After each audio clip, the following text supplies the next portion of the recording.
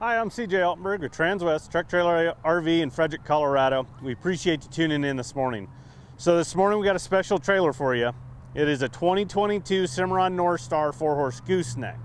And what makes this trailer so special is it's got a lot of extras on it that we're going to walk you through. But this is also going to be one of our display trailers at the upcoming National Western Stock Show. So you can come by and actually see this trailer if you're in Denver and, and are attending the show. So before we jump into it and show you all the cool features on it, I'm gonna walk you through kind of the, some of the specs on it so you have an idea on how this trailer is set up. First and foremost, it is a four horse. We're 24 foot on the floor, so not a big trailer by any means. We're 7'6 wide and we're 7'4 tall.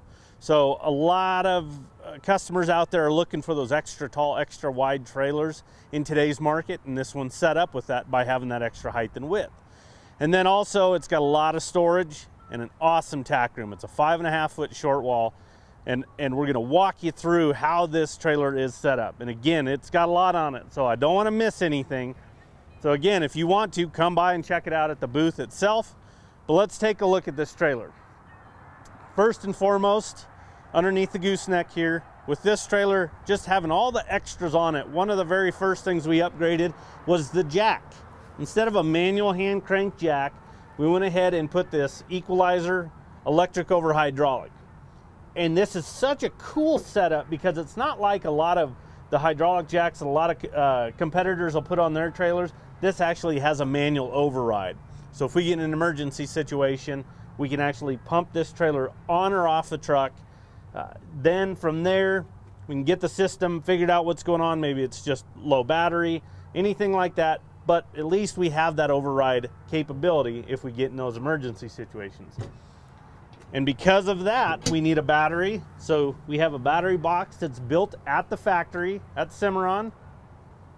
And on the 22 models, anytime you have that standard, you have the battery disconnect. So we can go ahead and kill all power to this trailer when it is sitting. But what's nice is, is when you have this battery on this trailer, even if you're not hooked on to the truck itself, you know, we can turn on some stall lights, tack lights, manger lights, anything like that.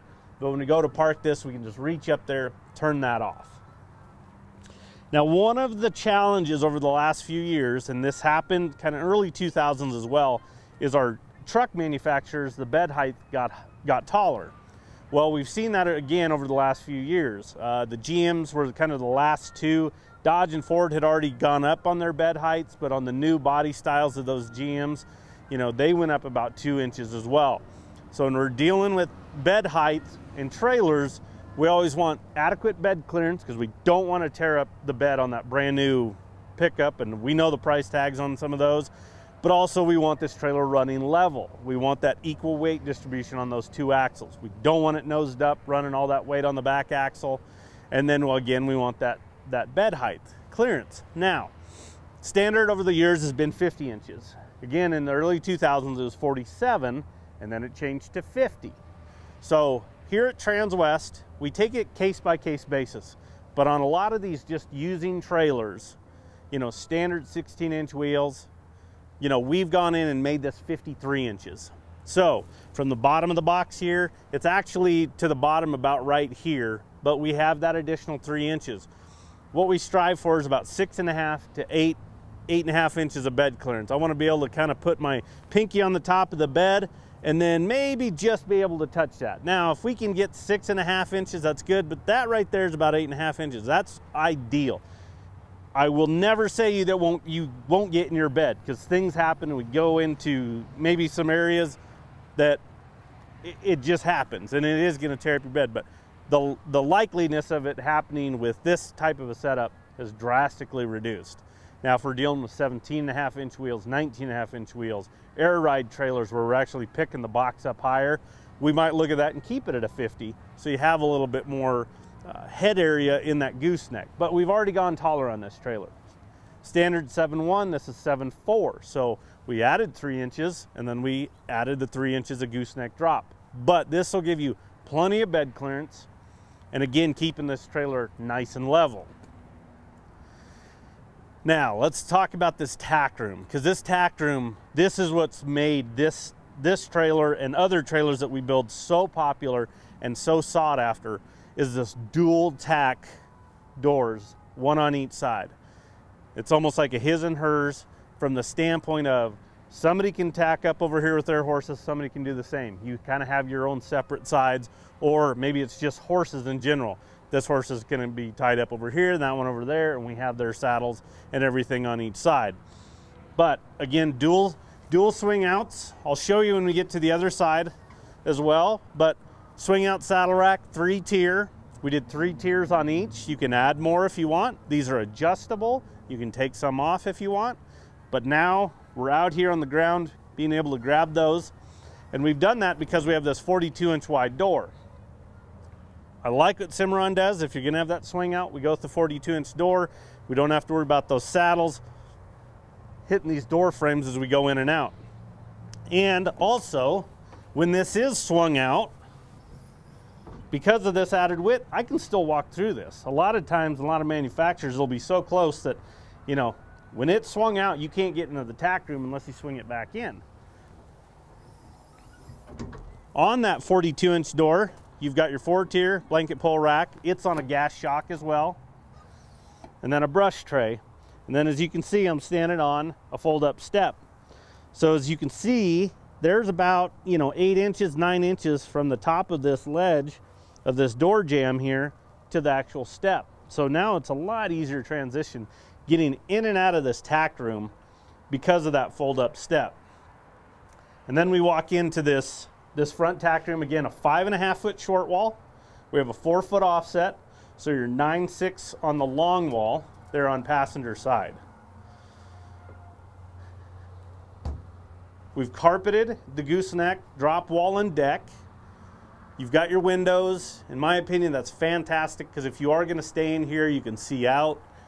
You can get kind of a cross breeze through there, making a little bit more comfortable. Again, with going up three inches, we lost nothing up here in this uh, in this uh, gooseneck area because of that gooseneck drop wall right there.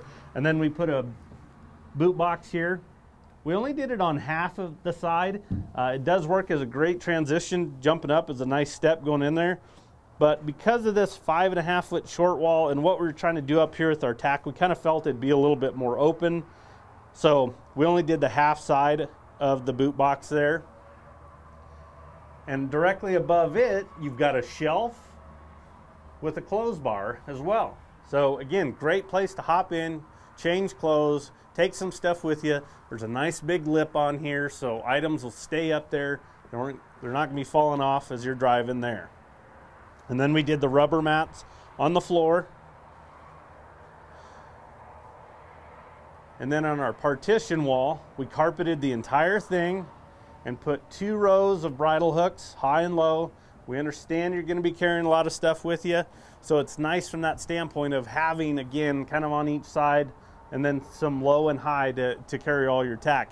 The other thing that I think is important because of this carpet, you know, we're dealing with an aluminum wall here, is we're not having that tack swing against there, scuffing it up, scuffing up the wall. And then also that creates a lot of noise as you're driving. Think about it, we have horses right on the other side of that wall. So we're making that a little bit quieter. Uh, one thing you could do is back here in this corner, you could add a corner water tank. Our parts uh, department sells those. Real easy to install back there. It's a great place because it's kind of tucked back there, kind of some wasted space, but you can do that. And one of the other things is because we have dual entry doors, we went in and added a light switch at each door. So whichever side, whichever side of the trailer you jump in, you can just reach in here and turn on the lights, which are to be these LED OptiBrights that are located above each door. So you've got plenty of light coverage in this front tack room.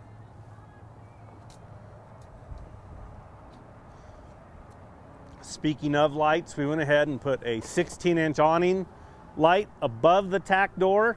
And then there's one kind of about center of the horse area there.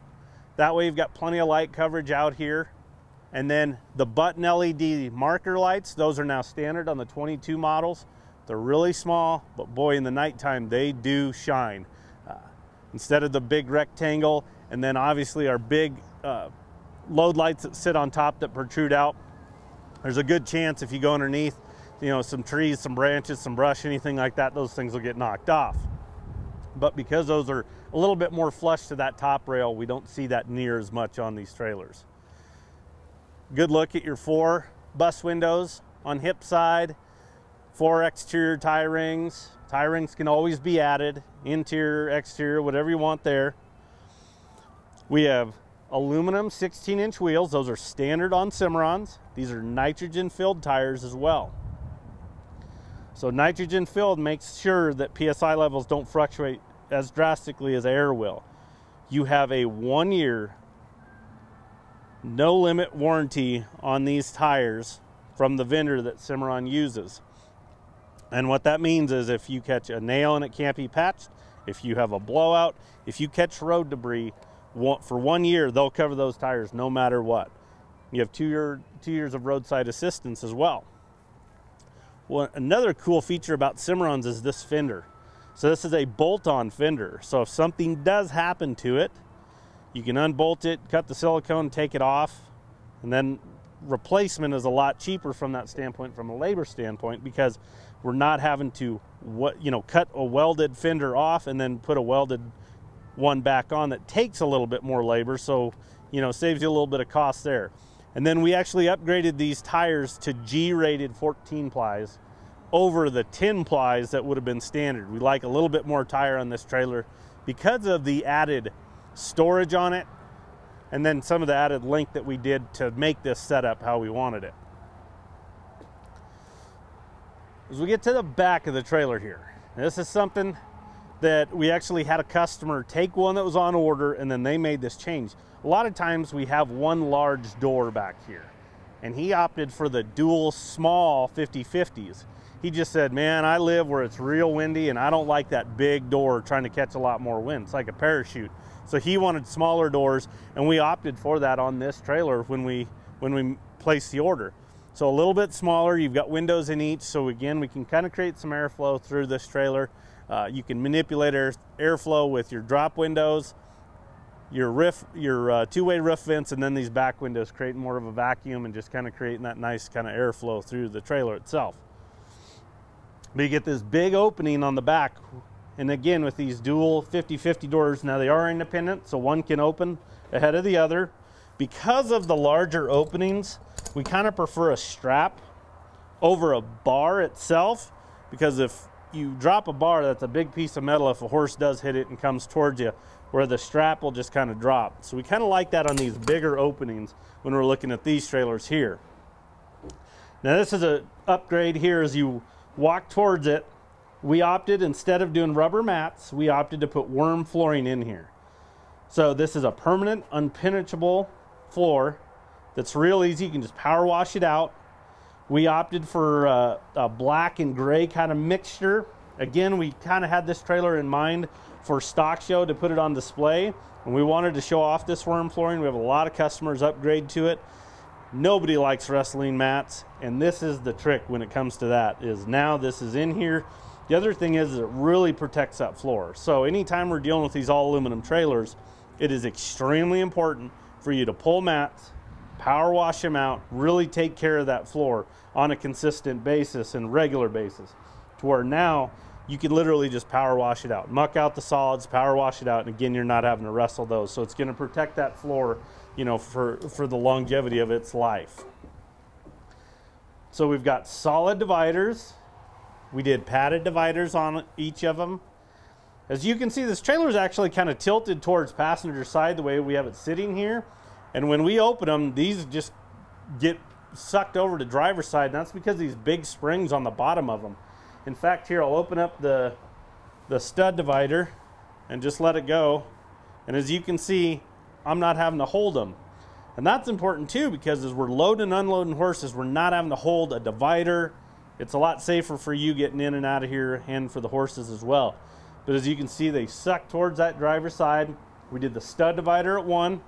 So that way, if you wanted some additional storage, you have somebody you need to separate off, you've got that capability here at this first stall. But the other thing I want you to look at is, you know, kick mats all the way up, but also more importantly is these paddle latches for these dividers. These are a powder coated cast aluminum piece, UHMW heavy duty plastic paddle latch itself. That's important because we're not having metal to metal contact creating a lot of noise in these.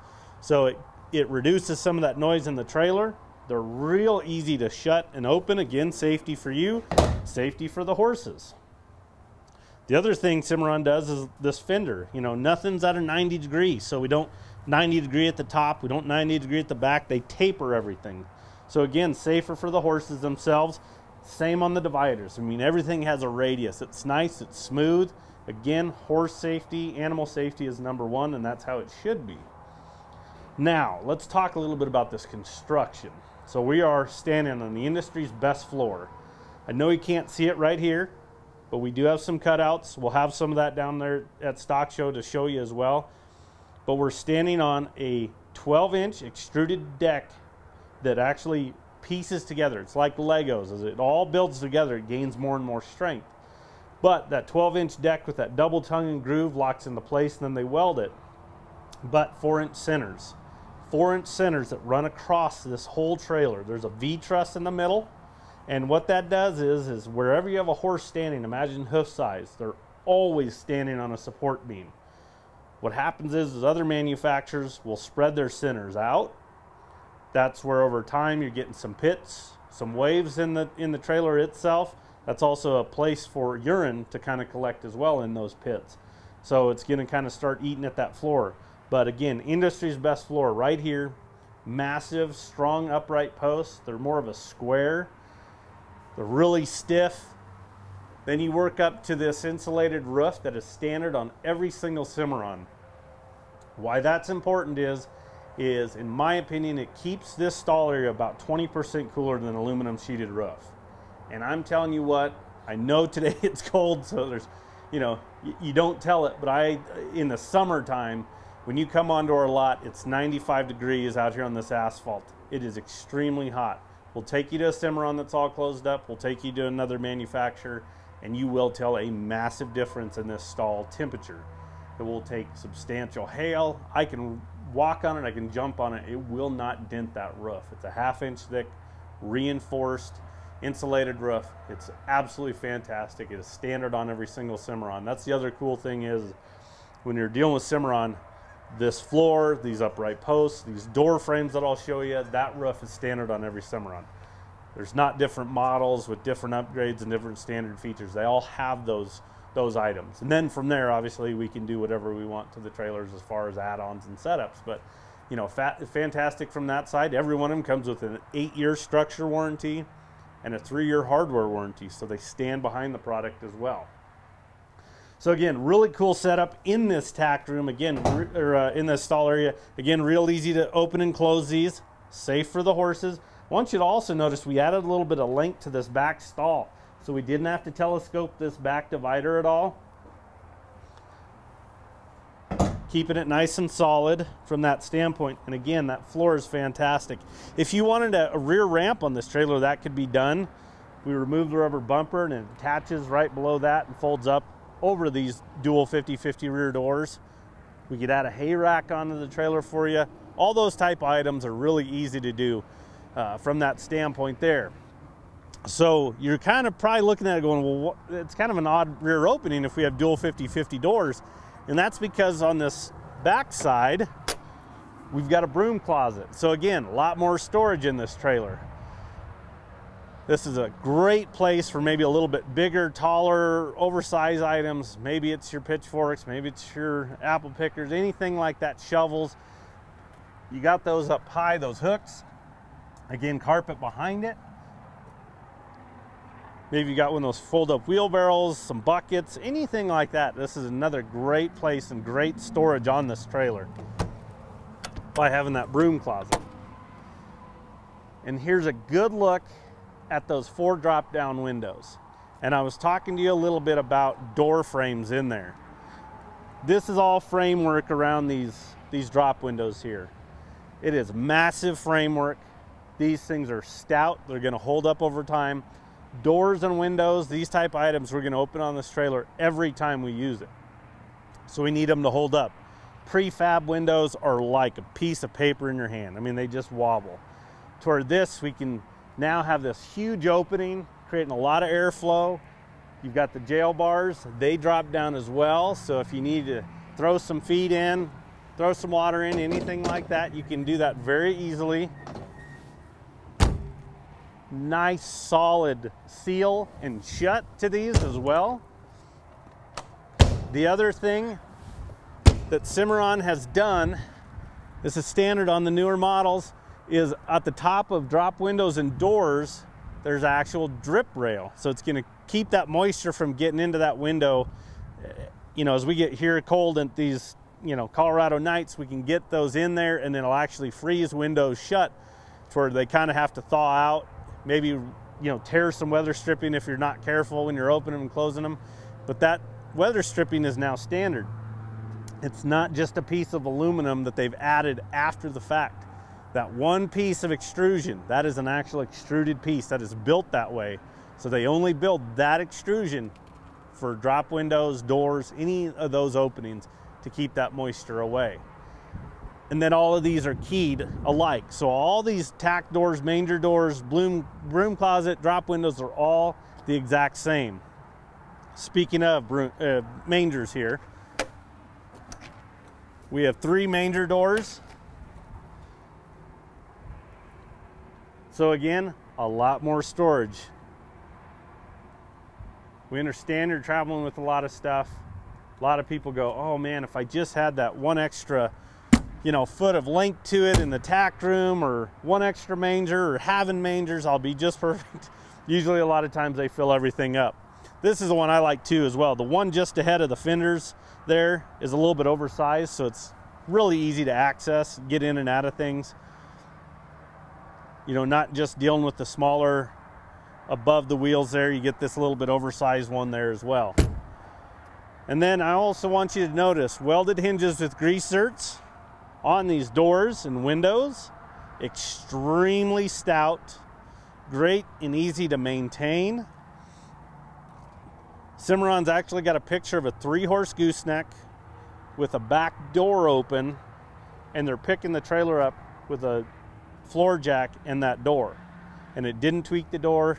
So that's how strong these hinges are and also the door, the framework inside these doors as well. This very first one, that's stall number one, because we have an access door, this drop window is a touch smaller than the others, just so we have the proper framework. But then we've got access to that first stall. So because of that stud divider in there, this could work as an additional storage area for you. If you're only hauling two, three head, you can use this first one, throw in some extra feed, some bedding, any of those type items. They're not gonna get underneath horses as you're driving. You can still access them as you're actually traveling. And then as you go forward to the tack room, there is our matching tack door, step, four tier blanket pull rack, brush tray, and that second swing out saddle rack. Again, three tiers. You can add more, you can adjust these, anything you like. You can still walk through this area. It mirrors that other side tack setup as far as that entry door. And again, as you can see, that's why it's so popular because I could come on this side, somebody else could go on the other side, we could tack up, do what we need to. Everything's right there. Uh, again, just a fantastic setup. We didn't add a whole lot of length to this tack room. Typically over our standards, you know, they're three, six, four foot short walls. This is five, six. We didn't add a ton of length to this trailer by doing this setup but boy is it nice and handy. So we've really incorporated this type of setup in some threes, some four horses obviously, five and six horses. We've got some stock combos with this. So if you're interested in this type of a setup, maybe that's just not quite what you were looking for, something a little bit a little bit different. Again, maybe stock, maybe one less horse, anything like that. You know, we can do this. Uh, we've got those on order. They go pretty fast. Some people have already put their names on them, but then we reorder. Uh, we can obviously take care of you and do a custom build as well. But again, let's take a look at this for reference. If you're interested in, in it or something like it, again, it's a 2022 Cimarron Norstar 4-horse gooseneck. Stock number is 5N211006. So we encourage you, if you're in Denver at the stock show, come by and see us. We're gonna have some trailers on display. We're gonna have a whole lot of information, a lot of video options for you. You know, we're not gonna be able to take as many trailers as we normally would down there, but that's just because everything is keep selling and and we've got a couple dedicated for the show. So definitely come by, put your hands on this trailer, walk through it, come and visit with us. We'll be happy to help you in any way we can. If you're interested, give us a call. Anybody on the sales team can help you out. Our number is 303 684 3400. Thanks for tuning in and have a good day.